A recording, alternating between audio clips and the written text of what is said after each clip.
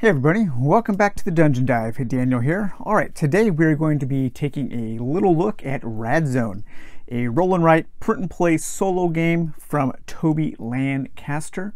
The PDF is fully available on DriveThruRPG for I think $10. I just bought it. I was sent this um, hard copy that was on Kickstarter for a review, but I liked the game enough that I went and purchased the PDF just to throw some uh, just to throw some cash at Toby Lancaster because I think he has created a pretty cool game. And just today or yesterday, he did announce a Christmas themed expansion that is going to be in PDF, and he's going to be sending that out to the Kickstarter backers, and it is going to be available on DriveThruRPG soon for um, people who didn't back it. So in this game, it is think somewhat similar to something like Four Against Darkness or uh, D100 Dungeon, but it is set in a post-apocalyptic world and I know some people recently have asked me if they knew, if I knew of a game that was similar to those, but set in a post-apocalyptic setting. And that is this game. So if you like those games and you were looking for something in a different setting, I would say definitely check it out. Um, but don't think that this is just kind of a reskinned Four Against Darkness or a reskinned D100 Dungeon. It is doing quite a bit uh, differently that I think it can easily sit alongside a collection of those games and offer up something unique every time you play it. So what you are doing is each uh, you're going to be playing in kind of short campaigns and you are going to be managing a a bunker of survivors and you're going to start with 10 different characters. Now there are a number of characters that are pre-made. There are character packs that you can buy, little expansions that you can buy. And you're going to pretty much kind of like randomly determine 10 characters that are going to be starting in your bunker. And um, I think the game comes with, I, I think it's over 12. The characters are very simple. You can also, there are also rules to create characters. Now I just printed these out on paper here. And the characters, like I said, are very simple. You're going to have a name, um, a number of fable dice, which fable dice are dice that you can uh, roll for fate to like uh, to, to, to cheat fate if you want to re-roll dice. Those are um, attempts that you can use to re-roll dice. A little story, and then basically just a trait. There are no stats. There are really no stat checks in this game. All of the rules are kind of there's story focused rules. So you might come across an encounter that says, well, if you're a quick shot, you can do this. Or if you have a gun, maybe you can do this. If you have a helmet, then you can do this. So the different things you get, the different items, the different gear, um, nothing is going to add to stats or anything like that. It's all going to be uh, narrative based. And so what you're going to do is each game, you're going to have, you're going to play in seasons and you're going to play in episodes. So in each episode, you are going to pick one character from your roster and they are going to be sent out on a journey to the city from the bunker to the city. Then once they're in the city, you are going to explore a certain location looking for items, looking for materials, things like food, water, medical supplies, fuel, depending on the mission that you're on. Then you're going to um, you're going to explore that location, and all the locations are unique, and they all come with these really cool isometric maps that you can print out. You will be printing out a lot of paper with this, you will be using a lot of paper and printouts on this game because you are going to be coloring the pages as you go. And so I know that some people will slip their pages into sleeves so then they can just color on the sleeve and not waste paper. But again, you're going to be searching through different locations and you're going to kind of like trying to push your luck, staying in these locations, trying to survive, going from location to location, looking for the gear that you need trying to avoid radiation because if you take too much radiation that character will die trying to avoid afflictions like i got in a in a gunfight so i got grazed by a bullet and eventually just finding the materials you need and then going on a journey from the city back to your bunker to where if you make it back alive, you will have a successful mission. And the way you win the game is you either survive 10 episodes, and I think even if just one of your survivors survives up to 10 episodes, you win the game, or you are out in the world and you find 10 survivors that you will send back to your bunker, thus, re- or 20, thus um, increasing your survivor total to 20 there. And so it's pretty, it, it, it's really interesting. There are some really cool things that I think this game does. And one of them is the journey to and journey from the location. So I'm going to kind of show you here how that works. It's really cool. I've never seen this in a game before. It might be out there, but I um, I'm totally envious of who if Toby is the guy who came up with this system, I think it's really cool, and I'm super envious of that. I wish I would have come up with it for for something. Um, so I was sending this uh, Xander Tail. He was the character that I was sending out. He says Xander was a chef. Uh, skills he has taken into the current crisis. He is excellent at making food stretch further and understands what can and cannot be eaten. He often wears a rubber apron. My traits that I started with were a patient watcher and good intuition. And I only have one fable die for uh, Xander there. And those traits are listed here in the book.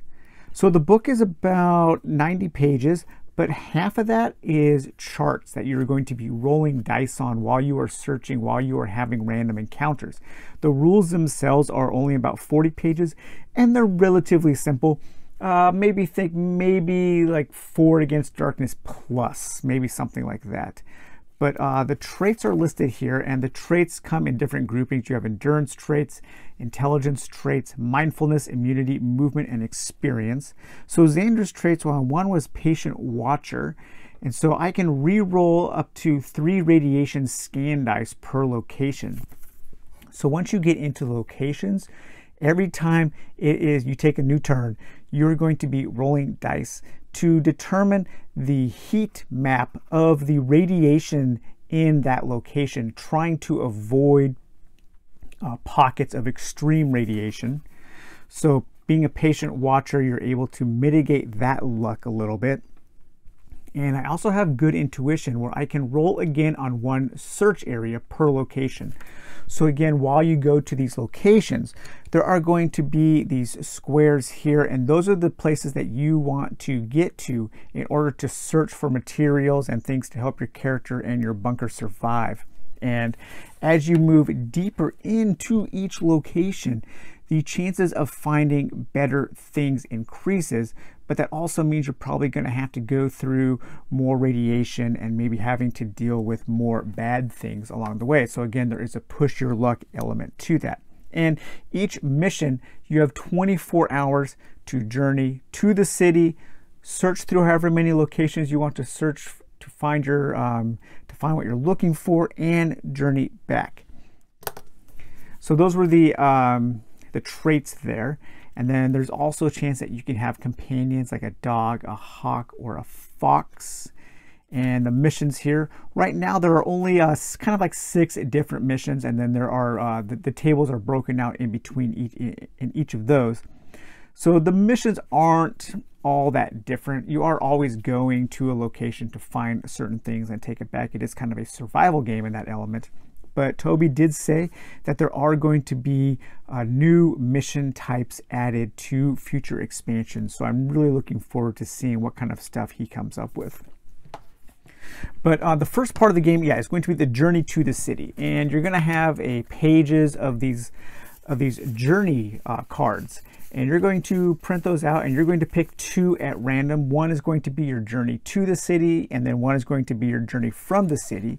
And on those, there are going to be different um, kinds of encounters that you can have. And what you do is you start moving one square at a time from left to right. So uh, starting at this uh, triangle there, that's your bunker, and then you are trying to get to the city. And when you reach this end zone here, uh, that is the city. And you can move from left to right, or you can move up, up and down but you can only stay in each column for three points of movement. And as you approach these different icons, the closer you are to them, when you go into their column, the greater the chance of you having that encounter. So there's this one here is a perilous. So I wanted to have this random encounter. So I moved down three and then I moved across. And if you are on the space or next to it, you automatically have that encounter. And when you reach a perilous space, then you look at the book here and you find your peril chart and you roll a random die to see what uh, happens to you. So uh, let me find the peril table here. So let's just say that I was uh, moving there and I wanted to go there. I would roll two dice actually because it's a d6, d6. So we'll say the uh, purple die here is first. So four and three. So um, this is what I would have found. Strung up on a lamp post here is a cage. and In it is a skinny dog. It raises its head slowly and whines as you approach. You need to climb the post to release the chain to free the dog. The choice is yours. Continue on your journey or roll the die. Okay, so um, I'll roll. I rolled the three. Uh, you manage to reach the top of the pole and release the chain. It rattles free and crashes to the road. The cage door flips open and the dog leaps free and runs off. However, if you roll a five or a six, you could have that dog as a companion. So that would be one little encounter that you could have. Another type of encounter you can have as you're going to the city is these radiation spots. And so here I moved it down because I wanted to get towards this car so I could search this car. So I landed on this spot and then you count how many squares to that icon. So it was one, two, three, four, five. So if I roll on a d6 any of those squares, well then I'm safe from that encounter. But if I roll a six here, then I have uh, run into radiation and I take the point of radiation. So I moved down here and I found this car. And so I decided to search the car. And so when you search the car, you turn back to the back of the book and you turn to the, this is like the search matrix as it's called. And you find your car. So a wrecked car here uh, is turned to page 88. And so then you figure out on 88, you see uh, what kind of car you're going to be searching. And there are these uh, charts here. And so first thing you do is you figure out what chart you're rolling on. So a six. So I'm rolling on rect card chart seven. So I would turn there and then I would roll to see what I found. Uh, two this is the lucky find do not apply uh, do not apply modifier rolls uh, two you pull back uh, the the seat and find a stack of forgotten suitcases. You search them quickly, gain one food and one water. Okay, so that would have been a pretty great find because on this mission, I am looking for one food, one water, one medical supply, one fuel, and one raw material. If I fail to return to my bunker with those uh, items, then three survivors flee, thus uh, making it harder for me to win the game. Okay, so then I decided to go up here because uh, I wanted to get up to this car to search and I wanted to get far away from uh, this bandit here, this encounter here, and then this radiation spot.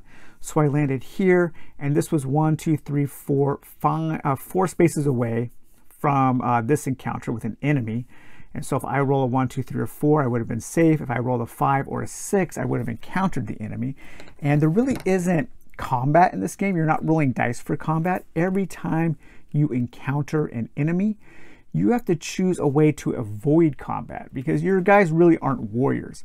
So if you have a dog, a hawk, then you might be able to use them to help create a distraction. So you would roll a die. You might have something in your pack that can help you do something.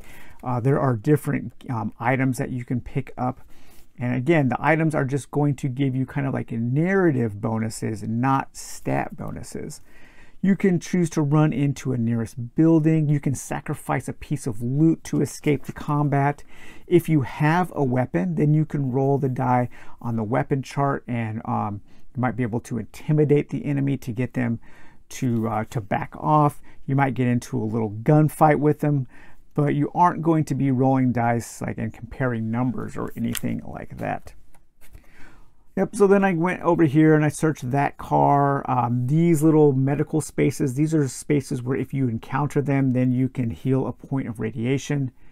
And I finally made it from the journey to, and I made it into the city. So then I decided to uh, go to the factory and kind of like see maybe what is in the factory here. And so once you make it to a city, well, then you're going to be looking at these isometric maps here. And you are going to be starting at the arrow and you're going to be moving in and you're going to need some color pencils. You're going to need a yellow, a green, and a red. And before you make a move, you need to roll, first of all, you need to have uh, three dice and you kind of need to choose the color and the order. So I'm going to say uh, yellow, pink, and blue here for that. Okay, so that's going to be the order. And the factory, each of the locations will give you a little narrative about um, what kind of location it is.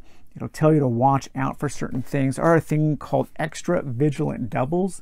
And you can pick four different numbers from a D6 and add those to this little chart here.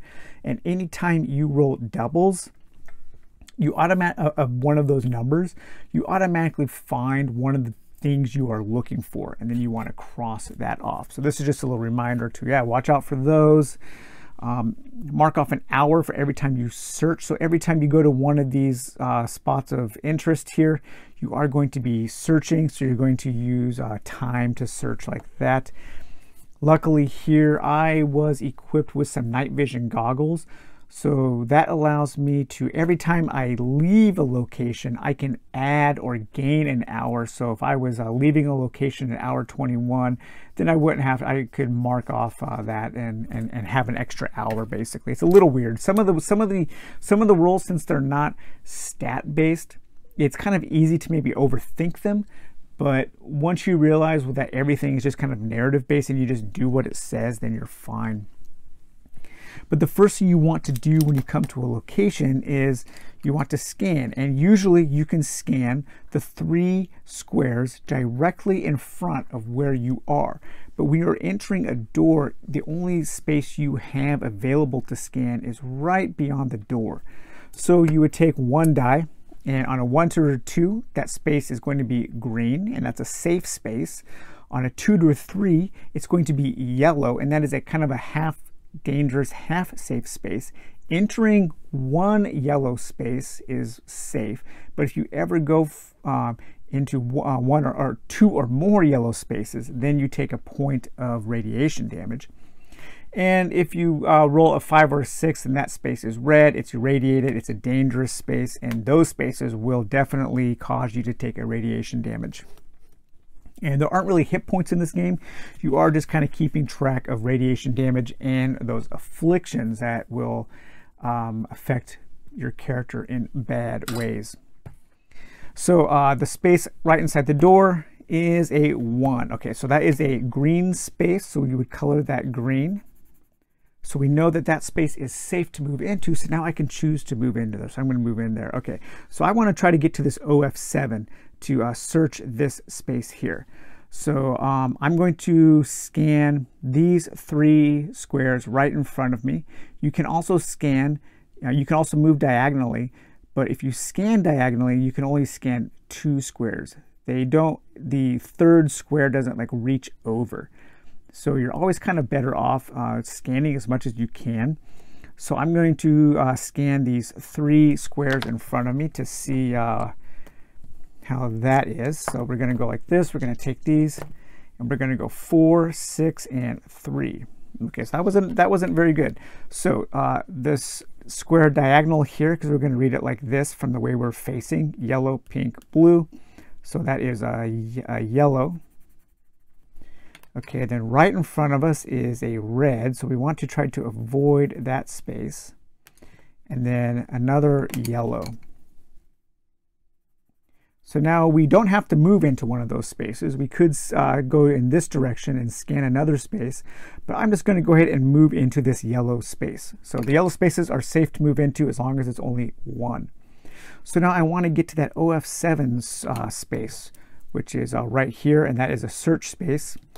So I am going to uh, roll, I'm going to scan so I'm, I moved from this green to this yellow. So now I'm going to scan these three squares right in front of me. Okay, so that's bad. So um, this is really bad actually. So that's a three. That is a, another yellow on this one. And then two reds. So this room is pretty dangerous here. Okay, so I do want to search this square. And this search square is a red search square. So I am going to move into that. So I would, at that point, I would mark off a um, radiation damage. And so if you ever get to 10, I believe your character dies. I can't exactly remember, but it's bad. You can get mutated and then you can die. So then I would say, okay, OF7. So I would turn to my uh, book here and I would find OF7. That's an office. And then I would roll a d6 to see what I find in that space. What did I risk my life to find for?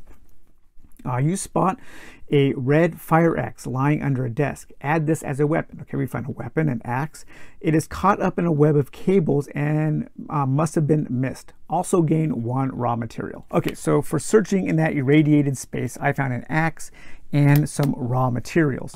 Uh, if I needed raw materials, which I don't, I've already found them, I could mark it off. And then I could also add an axe as a weapon to my equipment.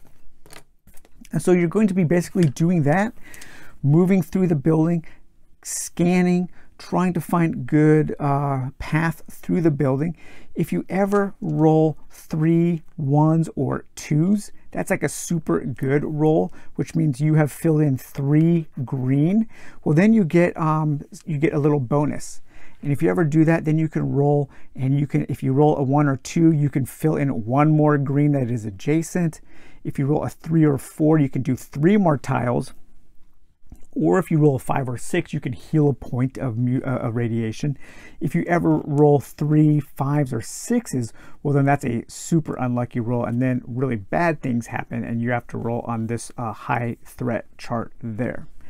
And there are a ton of different charts to roll on. So if you like rolling on random charts, uh, this is your game because the whole back of the book is just full of random encounters and charts and things for you to find.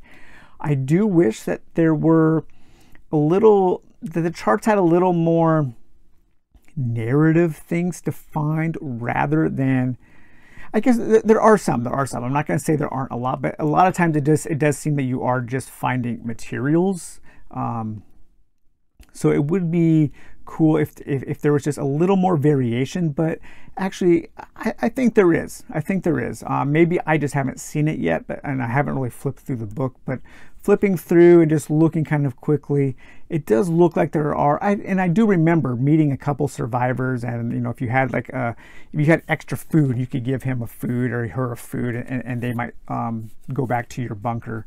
And um, if you find more than what you are looking for, you don't get a bonus. So if I had two food on me, I only need to bring back one food to successfully complete the, the, the, mission for that part of the mission. So if I found extra food, well then I could use that during the mission to um, entice people, to bribe people, to maybe um, help to avoid combat and that kind of thing. So I did print out um, some of the rules here as a quick reference. I quick I printed out the PDF. Here we have the icons for the journey. I did print out the peril table. Um, you have a bunch of different characters. So there are some character expansions. So you have a whole bunch of different characters that you can print out and then cut out. Here are all the, here's some more uh, journey cards that you can cut out so you can have random journeys. Uh, there are a lot of different uh, sheets that you can print out. There are also blank character cards such as those so you can create your own characters if you want to. additionally, there are, the game comes with one location pack and that location pack includes a church, a factory, a gym, a large house, an office, a police station, a retail center, a school level one and two and a townhouse. And then there's also additionally a um, location pack that you can purchase that comes with more locations such as apartment, a chapel, a desk, uh, what is that? Desk space, is that what that said? yeah, desk share, a desk share uh, office, a house, an industrial building, a mall, level one and two, um, a nursery, a security firm, and the rink. And like I said, there are going to be more expansions coming. Uh, Toby has created quite a few pretty cool looking games and I want to check out some of his other stuff because I really like this game. I love the journey phase. It's kind of like a puzzle. I love figuring out how to move to optimize my movement to the city or back to the bunker, you know, getting close. These um, icons here, these handshake icons, those are you having a, a chance to find a survivor to send back to your bunker. And uh, just plotting your way through these is really cool. Scanning the different locations is fun. It's different. You're not like in, in D100 Dungeon or, or 4 Against Darkness. You aren't rolling to figure out a, a, a room.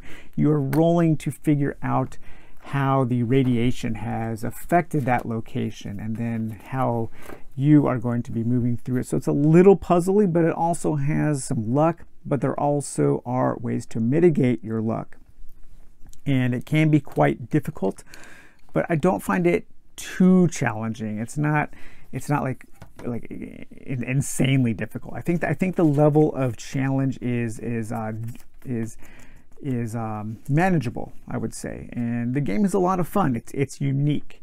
And so if you're looking for a cool, unique solo kind of roll and write uh, dungeon crawly thing in a post-apocalyptic setting, I do recommend Rad Zone.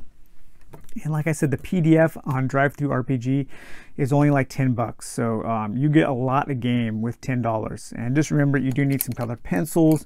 You need at least 3d6 of different color and different colors. And you will also need some paper. And you are going to have to print out multiple sheets because, you know, as soon as you go through the factory once, that radiation map is no longer useful the next time you go. Things change over time. So if you want to go through the factory again, you're going to need to print out another factory. But I don't know, paper is pretty cheap these days. So, all right, guys, yeah, well, that was a look at uh, Toby Lancaster's Rad Zone. I hope you enjoyed this video, and we'll talk to you later. Bye-bye.